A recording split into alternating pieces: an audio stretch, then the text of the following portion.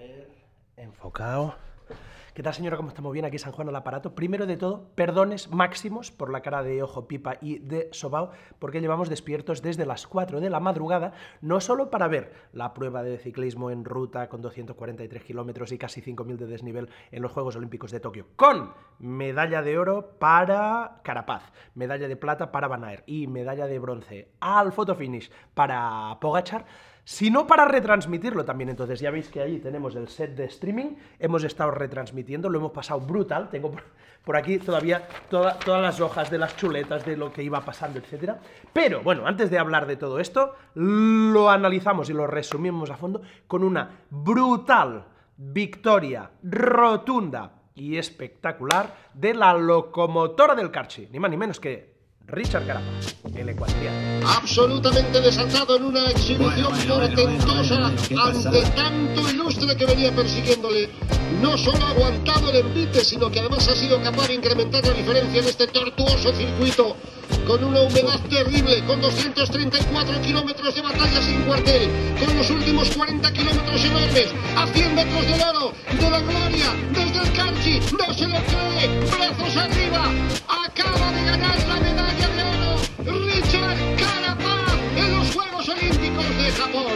Victoria brutal de Richard Carapaz ahí, llegando un minuto antes que Pogachar y que Van Aert, que se lo han disputado ahí al sprint, tanto la plata como el bronce, y que a unos 30 de meta el tío dice, mira, yo me piro, me piro con McNulty, entonces Boots por detrás ha intentado también empalmar y el grupo de los 10, 12 favoritos, ahí solo tiraba Van Aert y ha sido imposible pues que eh, ni Pogachar daba relevos, ni prácticamente nadie daba relevos, ha habido dudas por detrás y el tío con McNulty ha ido tirando, tirando, que de repente a 5 kilómetros, ¡pam! le arranca McNulty y le deja para atrás. Bueno, ahora analizamos la victoria al detalle, el cómo se ha producido, el por qué se ha producido, eh, quién, quién ha venido por detrás, el sprint espectacular que ha habido también entre Pogachar y Van Aert. Va a ser Van Aert por izquierda.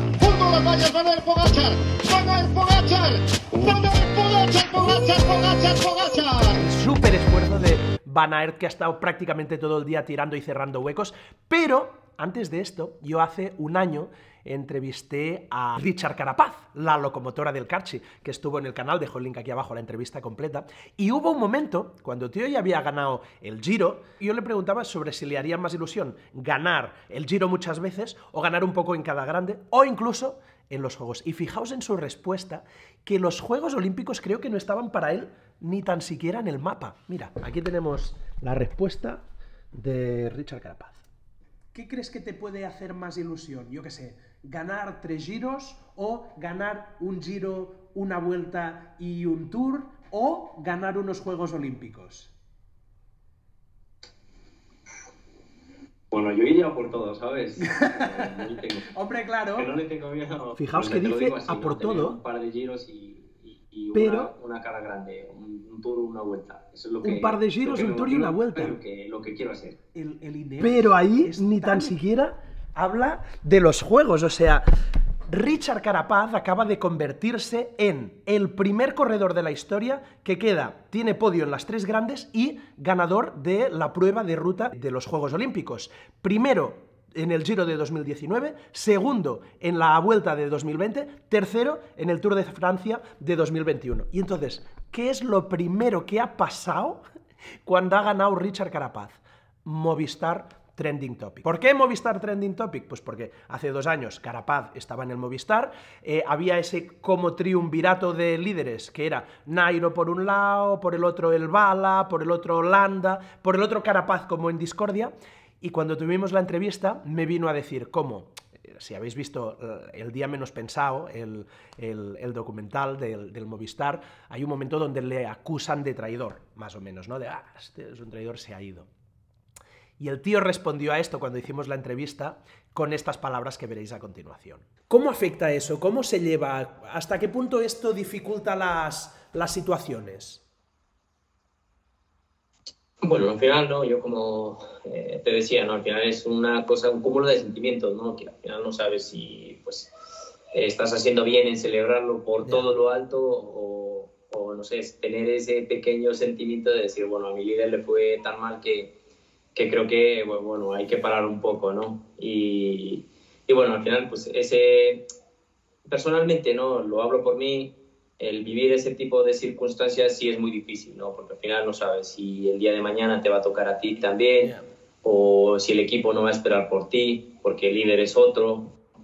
Eh, al final eso es como pues, llevar, no sé, un cuchillo detrás, eh, no saber si cuándo te va a caer, si si es hoy mañana, ¿no? Bueno, polémicas aparte, después de la aplastante y brutal y muy estratégica y muy de cabeza y muy de encontrar la oportunidad victoria de Carapaz, que yo lo he explicado durante la retransmisión, ¿eh? Hostia, me daba un poco de miedo que en el Tour vimos que Carapaz, que yo le llevaba... O sea, para mí quería que ganara Valverde, pero luego ya venía Carapaz. En el Tour le vimos que después de Pogachar, el que más atacaba era él, pero que en las cuatro o cinco etapas donde atacó, hostia, las ganas y las patas estaban, pero luego Pogachar primero le remachaba y luego la grupeta que venía por detrás, eh, donde estaban más, donde estaban, pues en fin, todos los otros, le acababan pillando, incluso algunas veces superando. Y hoy decía, hostia, a ver si cuando ataque pasa esto. Ha estado todo el rato ahí escondido dentro del grupo, además no, tenía equipo aquí, es decir, Ecuador estaba él, no, no tenía ahí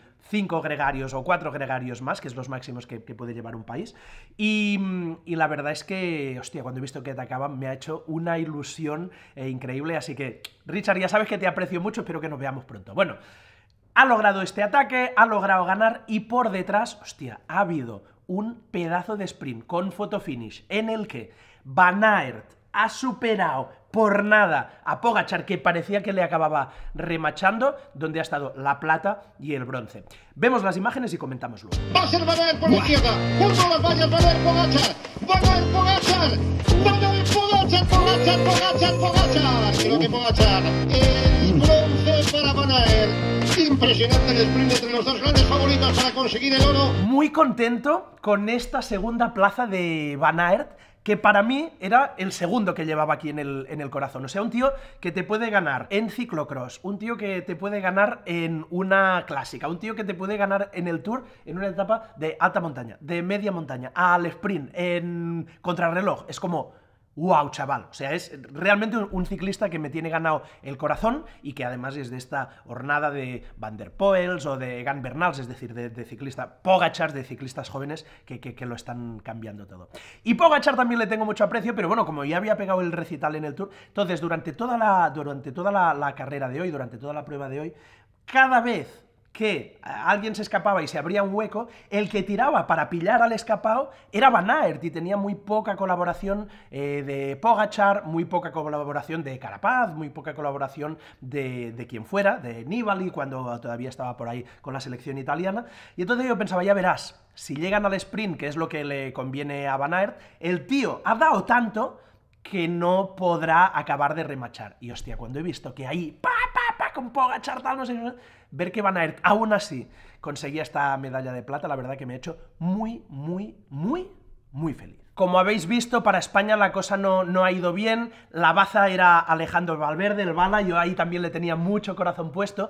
Pero es cierto que, hostia, un tío que ya está ahí con más de 40 tacos, que ha sido campeón del mundo a los 40. Es verdad que es una carrera que le podía ir bien, muy dura, casi 5.000 de desnivel, 240 kilómetros prácticamente, pero donde, hostia, en un día así hay gente que quizá tiene 20 años menos que tú. Antes de que se empezara a quedar el bala en la parte final de la ascensión al Monte Fuji, un poco antes se ha quedado Omar Fraile, Omar que aparte de ser un gran amigo, hostia, no en Japón, pero habíamos coincidido en Taiwán en una carrera que se llama eh, Taiwan Com Challenge, en la que subes de 0 metros del nivel del mar hasta 4.000, o sea, en cuanto a desnivel muy parecido aquí, en cuanto a vegetación muy parecido aquí, en cuanto a calor también muy parecido aquí, y Omar estuvo a punto de ganar ahí, y pensé, hostia, a ver si y no, no es el primero al que le han fallado las piernas después de haber apretado también mucho en el Tour y poco a poco pues ya se ha visto que, la selección española no tendría su mejor día. Al final 23 Gorka Izaguirre, el mejor español, que estaban ahí los dos hermanos de Izaguirre junto a Jesús Herrada, a Omar y a Valverde y el Bala, a pesar de desengancharse el tío también pundonor y venga, seguir, seguir y ha acabado el 42. Así que bueno, dicho esto, like Si os ha gustado la retransmisión, si la habéis visto en algún momento, si os ha parecido divertida, que a las 4 de la mañana ya estábamos dándole. Al final, hostia, casi 11.000 personas eh, viéndolo.